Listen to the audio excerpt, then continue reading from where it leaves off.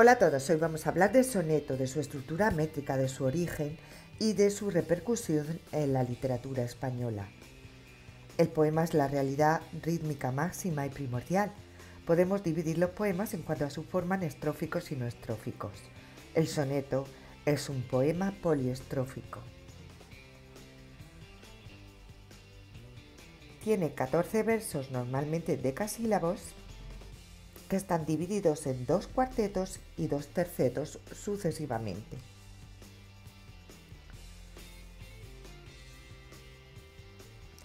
El esquema del soneto clásico presenta la siguiente distribución de la rima en los tercetos C, D, C, D, C, D, aunque abundan otras combinaciones diferentes.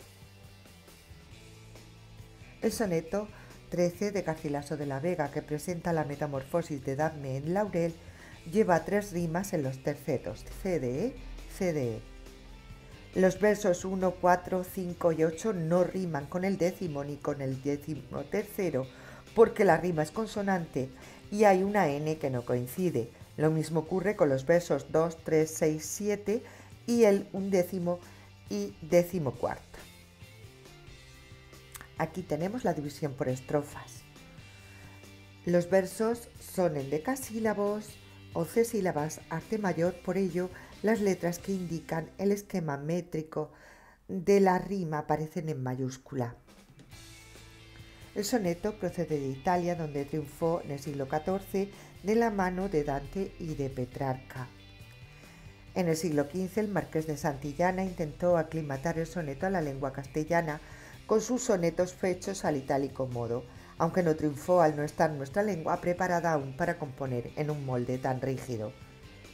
En el siglo XVI, el embajador y humanista Andrea Navallero, en un encuentro en Granada, animó a Juan Boscana a componer poemas usando los metros de moda en la lírica italiana de la época.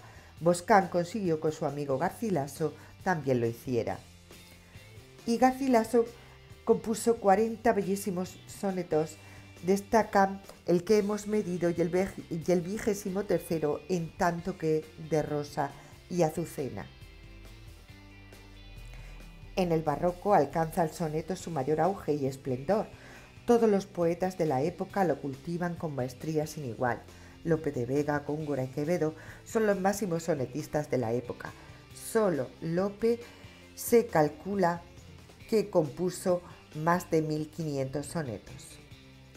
Curioso es el que lleva como primer endecasílabo un soneto me manda hacer violante y que explica cómo va componiéndolo. Después, durante el neoclasicismo y el romanticismo, entra en crisis. Becker, por ejemplo, escribe uno solo que comienza así, Homero cante a quien su lira Clio.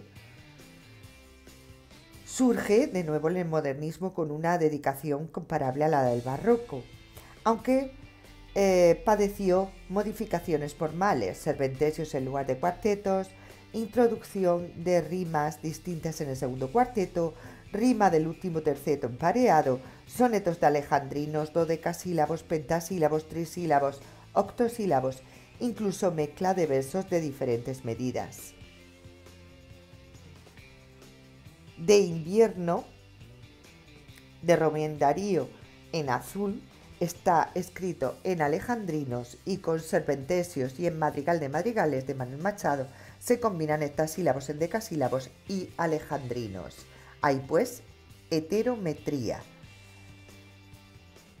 La generación del 27 aumentó más aún el cultivo del soneto, no hubo prácticamente ningún poeta que no lo cultivase, pero en esta época se volvió a la forma del soneto clásico.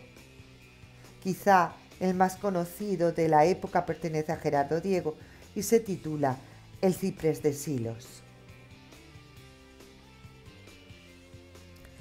En definitiva, desde el Renacimiento no se han dejado de componer sonetos en España. Casi todos los poetas, con mejor o peor fortuna, han puesto sus manos en ello, pese a la dificultad que entrañaba la elaboración de un buen soneto con su rígido esquema métrico.